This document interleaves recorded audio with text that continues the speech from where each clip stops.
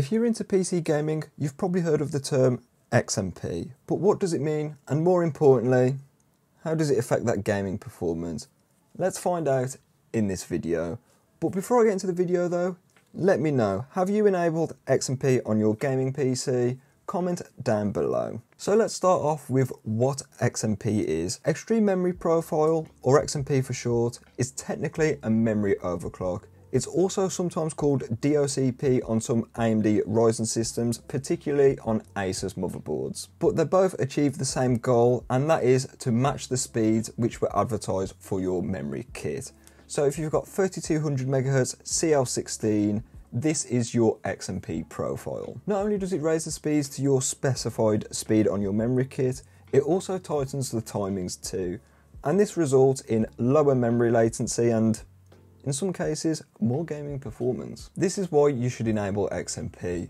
It's not on by default with most motherboards, and if you don't enable it, you will be stuck at your memory's default speed. So for DDR4, this is 2133 megahertz, and for DDR5, it's 4800 megahertz.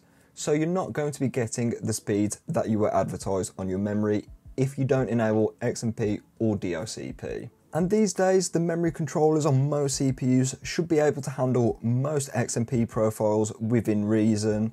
So you're basically going to be losing free performance if you don't enable it, and that is performance that you've paid for. For testing today, I'm using my Ryzen 5 5600G test bench with an MSI Gaming X GTX 1080. All testing is done at 1080p with no FSR being enabled in any of these games, so it is raw, straight up 1080p gaming performance. The specs of my test bench are a Ryzen 5 5600G, a GTX 1080 MSI Gaming X, 16GB of DDR4 dual channel memory running at both DDR4's base speed of 2133 MHz and 3600 MHz CL17. It also has a Sabrent 1TB NVMe Gen 3 SSD and an Asus Strix B550-F gaming. Starting off the testing today with Cinebench and the results here didn't really surprise me at all because when it comes to the single core performance, an uplift of around 4% is seen when enabling XMP, going up to 1433 from 1380. This is very minor and I'm surprised it's this small. Moving to the multi-core scores though, an uplift of 11% is seen here. This is about what I was expecting and this will translate to better performance when the CPU is being utilised more heavily, such as CPU intensive games and video editing. First game up today is Fortnite and on DirectX 12 with low settings it sees a pretty big performance jump with XMP enabled, going from 194 FPS on average to 255. This is a massive jump and the game felt a lot smoother. The 1% lows were also more consistent too, jumping up to 132, so the game was a lot smoother with XMP enabled.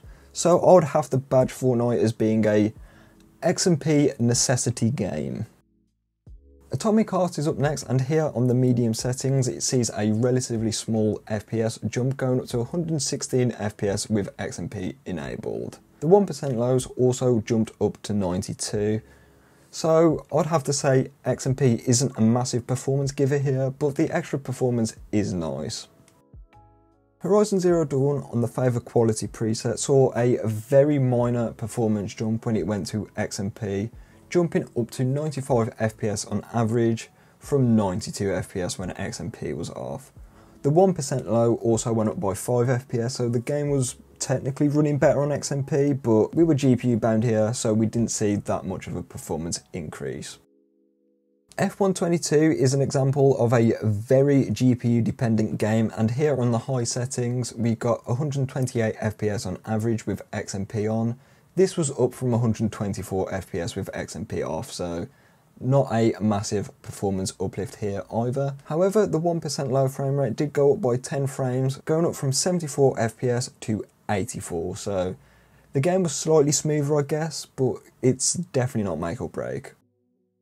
Rainbow Six Siege on the high preset saw a relatively beefy jump, going up to 287 FPS on average when XMP was enabled. However, even if you've got a 240Hz monitor, you won't see the difference, But one thing you might see the difference is the jump of 30 FPS with the 1% lows. It went from 158 to 188, and this translates to a much smoother gameplay experience.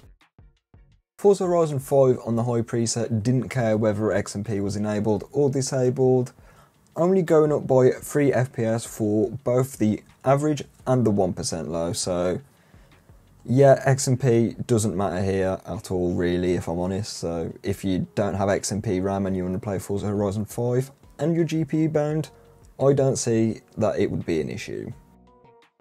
Cyberpunk is a game that surprised me because I thought Cyberpunk was pretty memory and CPU intensive, but it turns out it isn't, especially when you've got a Pascal GPU. Because I've always said Cyberpunk just hates Pascal for some reason, I don't know why. But both the 1% low and the average jumped up by only 1 FPS here when XMP was enabled, so it doesn't matter whether you've got XMP RAM or not when you're playing Cyberpunk on a similar configuration to this. GTA 5 on this configuration with the very high preset with 2 times MSAA really does like XMP. This is because it jumped up by a substantial, in my opinion, 20 FPS when XMP was enabled for the average FPS, and it jumped up by 12 FPS for the 1% low when XMP was enabled. Judging from previous tests that I've done over the years, GTA 5 does seem a bit more CPU intensive than GPU intensive, so this is probably why XMP has quite a big lead over non-XMP values here. Last game up is Call of Duty Modern Warfare 2. Here I set it to the basic preset with high textures as the 8GB of VRAM is more than enough for that. And yet again we see a very minor FPS increase with XMP being enabled for both the 1% low and the average. Yet again Modern Warfare 2 is that game that doesn't really care if you've got XMP enabled or disabled. Looking at the 9 game average taken from the 9 games tested today and we see a 12% performance uplift on average. This performance uplift does vary by game but 12% overall is relatively minor but it is a welcome upgrade of course. Looking at the 1% low figures now and we observe a 13% uplift and this translates to a smoother gaming experience as there's less jitters and hitching in your gameplay which is always a nice to have because I tell you one thing, I don't like stuttery gameplay.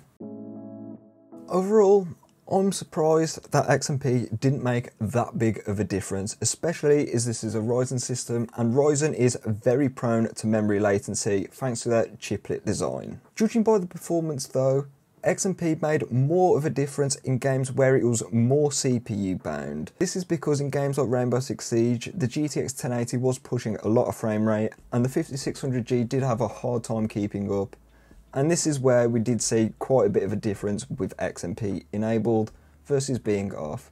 The same is also true here for Fortnite as well, because Fortnite is actually a pretty CPU intensive game. So this leads me to believe you will see a much bigger performance advantage when you're using the CPU a lot more than your GPU. So if you're using applications like Adobe Premiere Pro for instance, and in games where you're more CPU bound, XMP is going to make a bigger difference here. But if you're GPU bound most of the time, I don't think you're going to see the difference between XMP enabled and disabled. Maybe the 1% lows might be a bit better with XMP enabled, but at this point you've got to look at both running side by side and I don't think you'll notice a difference. So high speed memory and XMP profiles do certainly help out in some gaming scenarios, but not all of them. And this is why I think majorly high speed memory is not very good at all because it's just literally a waste of money. It's a lot more expensive and you don't really get that much more performance for it. This is why I'd recommend if you've got DDR4, get something that is 3600 megahertz, CL16 or CL17 or something that's even 3200 megahertz CL16. It's a great value memory kit and you can pick one up for about 40 quid here in the UK. I don't think they even cost that much anymore. And if you're on DDR5, get something that is CL30 6000 megahertz. This is quite a good sweet spot for AMD systems. Maybe get something that's a slightly higher clocked if you're on an Intel system. So, the takeaway from this video is just enable XMP. You've paid for the extra performance from your memory, so you may as well turn on a setting which allows you to run your memory at them speeds. Because at the end of the day, You spent your hard earned cash on it. So, with these tips and that being said, I'm going to leave the video here. If you like this one, like it, stay subscribed for more tech content, and I'll catch you in the next one.